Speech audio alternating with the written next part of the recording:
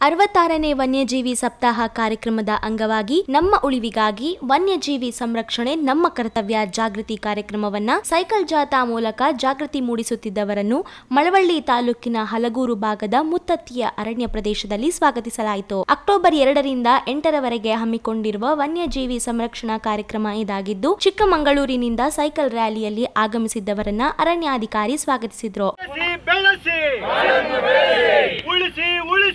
ಬೆಳೆಸಿ ಉಳಿಸಿ. ಉಳಿಸಿ ಉಳಿಸಿ. ಉಳಿಸಿ. ವನ್ಯ ಮೃಗಗಳನ್ನು ಉಳಿಸಿ ಉಳಿಸಿ.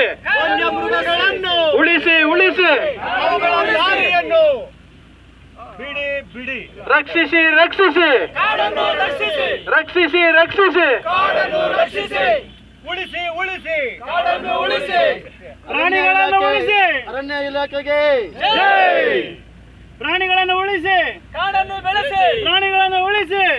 ಮಳವಳ್ಳಿ ತಾಲೂಕಿನ ಹಲಗೂರು ಪ್ರಮುಖ ಬೀದಿಗಳಲ್ಲಿ ಸೈಕಲ್ ಜಾಥಾ ನಡೆಯಿತು. ಅರವತ್ತಾರನೇ ವನ್ಯಜೀವಿ ಸಪ್ತಾಹ ಕಾರ್ಯಕ್ರಮದ ಮೂಲ ಉದ್ದೇಶವೆಂದರೆ ಮುಂದಿನ ಯುವ ಪೀಳಿಗೆಗೆ ವನ್ಯಜೀವಿಯ ಬಗ್ಗೆ ಅರಿವು ಮೂಡಿಸಬೇಕು ಎಂದರು. ಸೈಕಲ್ ಜಾಥಾ ಮೂಲಕ ಯುವಕರಿಗೆ ಅರಿವಿಗಾಗಿ ಕಾರ್ಯಕ್ರಮ ಹಮ್ಮಿಕೊಳ್ಳಲಾಗಿದೆ ಎಂದ ಅರಣ್ಯ ಸಂರಕ್ಷಣಾಧಿಕಾರಿ ರಮೇಶ್. ನನ್ನ ಹೆಸರು ಡಾಕ್ಟರ್ ಎಸ್ ರಮೇಶ್ ಅಂತ. ಕಾವೇರಿ ವನ್ಯಜೀವಿ ವಿಭಾಗದ ಉಪ ಅರಣ್ಯ ಸಂರಕ್ಷಣಾಧಿಕಾರಿಯಾಗಿ ನಾನು ಕಾರ್ಯನಿರ್ವಹಿಸುತ್ತಿದ್ದೇನೆ. ಈ ಕಾವೇರಿ ವನ್ಯಜೀವಿ ಧಾಮ ಮೂರು ಜಿಲ್ಲೆಗಳಲ್ಲಿ ಹರಡಿರ್ತದೆ. ಒಂದು ರಾಮನಗರ, ಮಂಡ್ಯ ಹಾಗೂ ಚಾಮರಾಜನಗರ. ಒಟ್ಟಾರೆ ಸಾವಿರದ ಇಪ್ಪತ್ತ ಏಳು ಚದುರ ಕಿಲೋಮೀಟರ್ ಅಂದರೆ ಒಂದು ಲಕ್ಷದ ಎರಡು ಸಾವಿರದ ಏಳ್ನೂರ ಐವತ್ತು ಹೆಕ್ಟೇರ್ ಅರಣ್ಯ ಪ್ರದೇಶದಲ್ಲಿರುತ್ತೆ. ಮತ್ತು ಇದು ನೂರು ಕಿಲೋಮೀಟರ್ ಕಾವೇರಿ ನದಿ ನಮ್ಮ ವನ್ಯಜೀವಿ ಧಾಮದಲ್ಲಿ ಹರಿಯುತ್ತದೆ.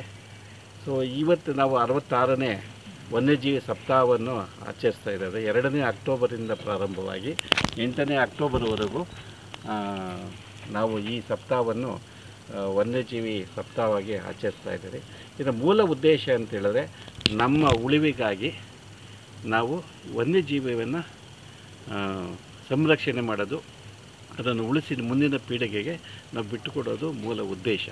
ಇದರ ಅಂಗವಾಗಿ ಇವತ್ತಿನ ಏನಾಗ್ತಾ ಇದೆ? ಆ, ನಾವು ಪರಿಸರ, ಮತ್ತು ವನ್ಯಜೀವಿಗಳು, ಮತ್ತು ಮಾನವ, ಇವೆಲ್ಲ ಅಂತರ ಜಾಸ್ತಿ ಆಗ್ತಾಯಿದೆ ಒಬ್ಬೊಬ್ಬರು ಒಂದೊಂದು ಹೇಳೋದೇನಂದರೆ ಓ, ಕಸ ಬಂದರೆ ಮುನ್ಸಿಪಾಲಿಟಿ ಇಲಾಖೆ, ಮತ್ತು ಎಲೆಕ್ಟ್ರಿಸಿಟಿ ಬಂದರೆ ಕೆ ಇ ಬಿ ಅವರು ಅಥವಾ ರೆವಿನ್ಯೂ ಬಂದರೆ ಈ ಥರ. ಅಂದರೆ ಒಂದೊಂದು ಇಲಾಖೆ ಒಬ್ಬೊಬ್ಬರಿಗೆ ಅದರ ಅನುಕೂಲ ಮಾಡ್ತಾರೆ ಅನ್ನೋ ಒಂದು ನಮ್ಮ ಮನೋಧೇಯ ಪ್ರಾರಂಭ ಆಗಿದೆ. ಆದರೆ ನಮ್ಮ ಸಂವಿಧಾನದ ಪ್ರಕಾರ ಪ್ರತಿಯೊಂದು ಪರಿಸರ ಹಾಗೂ ವನ್ಯಜೀವಿಗಳು ಉಳಿಸೋದು ಪ್ರತಿಯೊಬ್ಬರ ಕರ್ತವ್ಯ ಅಂತ ತಿಳ್ಕೋಬೇಕು. ನಾವು ಓದಿ ಗೈಡಿಂಗ್ ಪ್ರಿನ್ಸಿಪಲ್ಸ್. ಯಾವ ಡಿ ಇಲಾಖೆ ಇದೆ ಕರ್ನಾಟಕ ಫಾರೆಸ್ಟ್ ಡಿಪಾರ್ಟ್ಮೆಂಟ್ ಅಂದರೆ, ಇಸ್ ಒಂದು ಗೈಡಿಂಗ್ ಪ್ರಿನ್ಸಿಪಲ್ಸು. ಇದೆಲ್ಲ ಉಳಿಸೋದು ಪ್ರತಿಯೊಬ್ಬರ, ಯಾಕಂದರೆ ಒಂದು ಇಲಾಖೆ ನಾಲ್ಕು ಗೋಡೆಗಳ ಮಧ್ಯೆ ಕೆಲಸ ಮಾಡೋದಕ್ಕಾಗೋದಿಲ್ಲ. ಸಾರ್ವಜನಿಕರಲ್ಲಿ ಕೆಲಸ ಮಾಡಬೇಕು.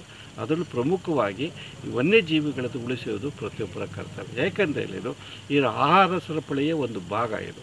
ಎಲ್ಲ ವನ್ಯಜೀವಿಗಳು. ವನ್ಯಜೀವಿಗಳಲ್ಲಿ ಪ್ರಾಣಿಗಳು ಇರ್ಬೋದು. ಕೇವಲ ದೊಡ್ಡ ಪ್ರಾಣಿಗಳು ಆನೆ, ಹುಲಿ, ಚಿರತೆ ಅನ್ನೋದಲ್ಲ. ಒಂದು ಸಣ್ಣ ಕ್ರಿಮಿಕೀಟವು ಹಾಗೂ ಒಂದು ಸಸ್ಯವು ಸಹ ಈ ಒಂದು ವನ್ಯಜೀವಿಗಳೆಲ್ಲ ಭಾಗದಲ್ಲಿ ಸೇರಿರುತ್ತದೆ.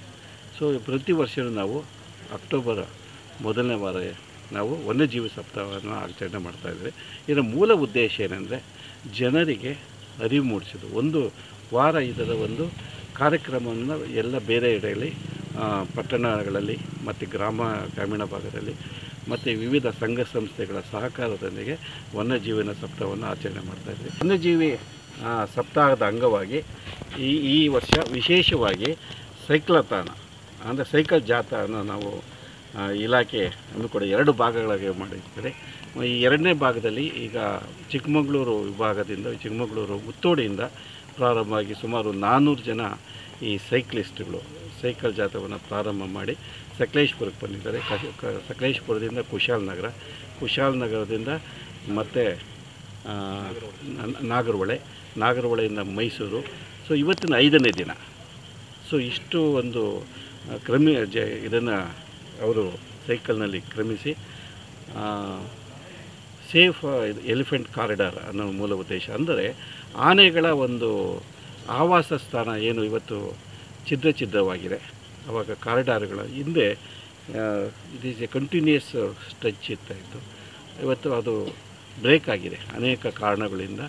ಅವನ್ನು ಉಳಿಸುವುದು ಅದರ ಬಗ್ಗೆ ಉಳಿಸಿ, ಜನರಿಗೆ ಅರಿವು ಮಾಡೋದು ಇದು ಮೂಲ ಉದ್ದೇಶ. ಸೇವ್ ದ ಎಲಿಫೆಂಟ್ ಕಾರ್ಡರ್ಸ್ ಎಂಬ ಒಂದು ಮೂಲ ಉದ್ದೇಶದಿಂದ ಈ ಒಂದು ಸೈಕ್ಲಾ ಜಾಥವನ್ನು ಪ್ರಾರಂಭ, ಮುತ್ತೋಡಿನಿಂದ ಸಕಲೇಶ್ಪುರ, ಸಕಲೇಶ್ಪುರದಿಂದ ಕುಶಾಲನಗರ ಕುಶಾಲ ನಾಗರಹೊಳೆ ಮತ್ತು ಮೈಸೂರು ಭಾಗವಾಗಿ ಇವತ್ತು ಮಳವಳ್ಳಿಗೆ ಬಂದು ಮಳವಳ್ಳಿಯಿಂದ ಇವತ್ತು ಭೀಮೇಶ್ವರಿ ನೇಚರ್ ಕ್ಯಾಂಪ್ಗೆ ಬಂದು ತಲುಪಿದ್ದಾರೆ. ಸೊ ಸುಮಾರು ನಲವತ್ತು ಜನ ಸೈಕ್ಲಿಸ್ಟ್ಗಳು ಎಂಥ ಸ್ವಯಂ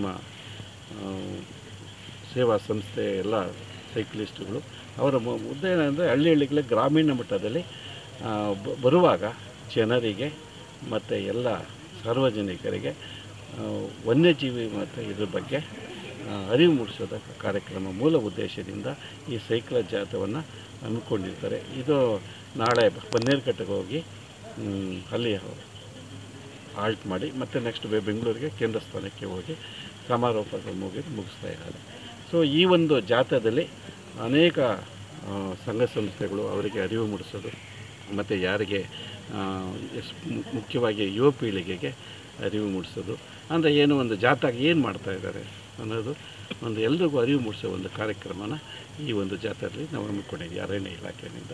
ಇದರಲ್ಲಿ ಎಲ್ಲ ಸಾರ್ವಜನಿಕರು ಮತ್ತು J L R, jungle research ಸಂಸ್ಥೆಯವರು ಈ ಥರ ಎಲ್ಲರೂ ಪಾಲ್ಗೊಂಡಿರ್ತಾರೆ ಕಾಡು ಉಳಿಸಿ ಕಾಡು ಪ್ರಾಣಿಗಳ ಸಂರಕ್ಷಣೆ ನಮ್ಮ ಗುರಿ. ಇದನ್ನು ಹಳ್ಳಿಗಾಡಿನ ಜನಗಳಿಗೆ ಮುಟ್ಟಿಸುವ ನಿಟ್ಟಿನಲ್ಲಿ ಸೈಕಲ್ ರ್ಯಾಲಿ ಮುಖಾಂತರ ಜನಗಳಿಗೆ ಇಂದು ಅರಿವು ಮೂಡಿಸುತ್ತಿದ್ದೇವೆ. ಕಾಡಿಗೆ ಬೆಂಕಿ ಬೀಳದಂತೆ ನಾವು ಅರಣ್ಯವನ್ನು ಸಂರಕ್ಷಣೆ ಮಾಡಬೇಕು. ಕಾಡು ಪ್ರಾಣಿಗಳಿಗೆ ಯಾವುದೇ ಅನಾಹುತ ಆಗದ ರೀತಿಯಲ್ಲಿ ಸಂರಕ್ಷಿಸಬೇಕು ಎಂದು ಸೈಕಲ್ ಜಾಥಾ ತಂಡದ ನಾಯಕ ಸಂತೋಷ್ ತಿಳಿಸಿದರು. ನಮಸ್ಕಾರ, ಸಂತೋಷ್ ಅಂತ ಐ ಸೈಕಲ್ ಇಂದ ಈ ಸೇಫ್ ಫಾರೆಸ್ಟ್ ಅಂತ ಹೇಳಿ ಅರವತ್ತಾರನೇ ವರ್ಷದ ಅರಣ್ಯ ಸಪ್ತಾಹದಿಂದ ನಾವು ಸೈಕಲ್ ರ್ಯಾಲಿ ಮಾಡಿದ್ದೀವಿ ಒಂದು ಮೊದಲನೇ ದಿನ ಚಿಕ್ಕಮಂಗ್ಳೂರು ಮುತ್ತೋಡಿ ಫಾರೆಸ್ಟಿಂದ ಹೊರಡ್ತೀವಿ. ಯಾವ ಡೇಟ್ ಎರಡನೇ ತಾರೀಕು. ಎರಡನೇ ತಾರೀಕು ಒಟ್ಟು ನಾವು ಬಂದು ಮೊದಲನೇ ದಿನ ಸಕಲೇಶ್ಪುರ ಸಕಲೇಶ್ಪುರವರೆಗೂ ಸೈಕಲ್ ಮಾಡ್ತೀವಿ. ಚಿಕ್ಕಮಂಗ್ಳೂರು ವಯಾ ಚಿಕ್ಕಮಂಗ್ಳೂರು. ಅದು ಬಂದು ನೈಂಟಿ ಕಿಲೋಮೀಟರ್ಸ್ ಆಗುತ್ತೆ. ಅಲ್ಲಿ ಅಲ್ಲಿಂದ ಎರಡನೇ ದಿನ ಬಂದು ನಾವು ಕುಶಾಲನಗರಕ್ಕೆ ಬರ್ತೀವಿ. ಕುಶಾಲನಗರ ಫಾರೆಸ್ಟ್ ರೇಂಜು ಇಲ್ಲೆಲ್ಲ ಸೇಫ್ ಫಾರೆಸ್ಟು ಮತ್ತು ಕ್ಯಾಂಪೇನು ಫಾರೆಸ್ಟ್ ಡಿಪಾರ್ಟ್ಮೆಂಟ್ ಜೊತೆ ನಾವು ಇಂಟ್ರಾಕ್ಷನ್ನು ಏನೇನು ಆಗುತ್ತೆ ಫಾರೆಸ್ಟಲ್ಲಿ ಅಂತ ತಿಳ್ಕೊಳ್ಳೋದು ತುಂಬ ಅನುಕೂಲವಾಗಿದೆ ನಮ್ಮ ನಾರ್ಮಲ್ ಕಾಮನ್ ಪೀಪಲ್ಗೆ ಮತ್ತು ಮೂರನೇ ದಿನ ಕುಶಾಲನಗರದಿಂದ ನಾಗರಹೊಳೆಗೆ ಬಂದ್ವಿ. ಮತ್ತು ನಾಗರಹೊಳೆಯಿಂದ ಮೈಸೂರು ಮೈಸೂರಿಂದ ಇಲ್ಲಿವರೆಗೂ ಬಂದಿದ್ದೀವಿ. ನಾಳೆ ಒಂದಿನ ರೈಡ್ ಇರುತ್ತೆ. ನಾಳೆ ಬೆಂಗಳೂರು ಬಂಡೀಪುರದಲ್ಲಿರ್ತೀವಿ. ಮತ್ತು ಬಂಡೀಪುರ ಬ ಸಾರಿ ಬನ್ನಾರ್ಘಟ್ಟದಲ್ಲಿ ಬನ್ನಾರ್ಘಟ್ಟದಲ್ಲಿರ್ತೀವಿ. ಬನ್ನಾರ್ಘಟ್ಟೆಯಿಂದ ನೆಕ್ಸ್ಟು ಲ ಅರಣ್ಯ ಭವನಿಗೆ ಇಪ್ಪತ್ತೇಳು ಕಿಲೋಮೀಟರ್ ರೈಡ್ ಮಾಡ್ತೀವಿ. ಅಲ್ಲಿ ಸುಮಾರು ಒಂದು ನಮ್ಮನ್ನ ವೆಲ್ಕಮ್ ಮಾಡೋದು ಒಂದು ಐವತ್ತು ಜನ ಸೈಕ್ಲಿಸ್ಟ್ ತಿರ್ಗಾ ಅಲ್ಲಿ ಸೇರ್ತಾರೆ. ಸೊ ನಾವು ಇದು ಸೈಕಲಲ್ಲಿ ಬರೋದ್ರಿಂದ ಏನಾಗುತ್ತೆ ಅಂದರೆ ಸುಮಾರು ಜನಕ್ಕೆ ಸಂದೇಶ ಹೋಗುತ್ತೆ. ನಾವು ಇಷ್ಟು ಜ ರೀಜನ್ಗಳಲ್ಲಿ ನಾವು ಸೈಕಲ್ ಮಾಡ್ಕೊ ಬರೋದ್ರಿಂದ more than lakhs of people ನಮ್ಮನ್ನು ನೋಡ್ತಾರೆ. ಏನಕ್ಕೆ ಅಂತ ನೋಡ್ತಾರೆ? ಯಾರೋ ಸೈಕಲ್ ಮಾಡ್ತಿದ್ದಾರೆ ಅಂತ. ನಾವಲ್ಲಿ ಸೇಫ್ ಫಾರೆಸ್ಟ್ ನಮ್ಮ ಬ್ಯಾನರ್ಗಳು, ನಮ್ಮ ಪೋಸ್ಟರ್ಗಳು ನೋಡೋದ್ರಿಂದ ಜನಕ್ಕೆ ಅರಿವು ಬರುತ್ತೆ. ಸ ಫಾರೆಸ್ಟ್ನ ಸಂರಕ್ಷಿಸಬೇಕು. ವಲ್ಚರ್ ಫಾರ್ ಫ್ಯೂಚರ್ ಅಂತ ಸಂದೇಶ ತೊಗೊಬಂದಿದ್ದೀವಿ save elephant corridors so elephant ಓಡಾಡೋ ಜಾಗದಲ್ಲಿ ಜನ ಬೆಳೆ ಏನು ಏನು ಬೆಳೆ ಬೆಳ್ಕೊಂಡ್ಬಿಡ್ತಾರೆ ಒಂದೊಂದು ಸೊ ಪ್ರಾಣಿಗಳಿಗೆ ಶಾಲೆಗೆ ಹೋಗಿರಲ್ಲ ಅವ್ರಿಗೆ ಅವ್ರ ಜಾಗದಲ್ಲಿ ದಾರಿ ತಪ್ಪಿ ಒಂದೊಂದ್ಸರಿ ತೋಟಕ್ಕೆ ಬರುತ್ತೆ ಬೆಳೆದಿರೋ ಬೆಳೆನ ಹಾನಿ ಮಾಡುತ್ತೆ. ಆ ದೃಷ್ಟಿಲಿ ದಯವಿಟ್ಟು ಪ್ರಾಣಿಗಳಿಗೆಲ್ಲ ಹಿಂಸೆ ಕೊಡಬೇಡಿ. ನೀವು ಫಾರೆಸ್ಟ್ ಡಿಪಾರ್ಟ್ಮೆಂಟ್ ಹೇಳಿದ್ರೆ ಅವ್ರು ಏನು ಆ್ಯಕ್ಷನ್ ತೊಗೋಬೇಕು ಅದು ತೊಗೊಳ್ತಾರೆ. ಸೊ ಪ್ರಾಣಿನ ಉಳಿಸಿ ಅರಣ್ಯನ ಉಳಿಸಿ ಅರಣ್ಯ ಪ್ರಾಣಿ ಕಾಡು ಪ್ರಾಣಿ ಎಲ್ಲ ಇದ್ದರೆ ಮುಂದೆ ಬರುವ ಜನ್ರೇಷನ್ ಅವರೆಲ್ಲ ನೋಡ್ಬೋದು ನಮ್ಮ ಕಾಡು ಹಿಂಗಿತ್ತು ನಮ್ಮ ಈ ಥರ ಅನಿಮಲ್ಸ್ಗಳಿತ್ತು ಲೆಕ್ಕ ಈಗ ವಲ್ಚರ್ ಕಾಣಿಸ್ತಿಲ್ಲ ಸುಮಾರು ಜನದಲ್ಲಿ. ಅದು ನನಗೆ ಈ ರೈಡಿಗೆ ಬಂದಮೇಲೆ ಗೊತ್ತಾಯಿತು. ಎಷ್ಟು ದಿನ ರಣಹದ್ದುಗಳು ಎಲ್ಲ ಕಡೆ ಇರುತ್ತೆ ಅಂದ್ಕೊಂಡಿದ್ವಿ ರಣಹದ್ದು ಈಗ ನಮ್ಮ ಕರ್ನಾಟಕದಲ್ಲಿ ಬೆರಳೆಣಿಕೆ ಅಷ್ಟು ಆಗಿದೆ.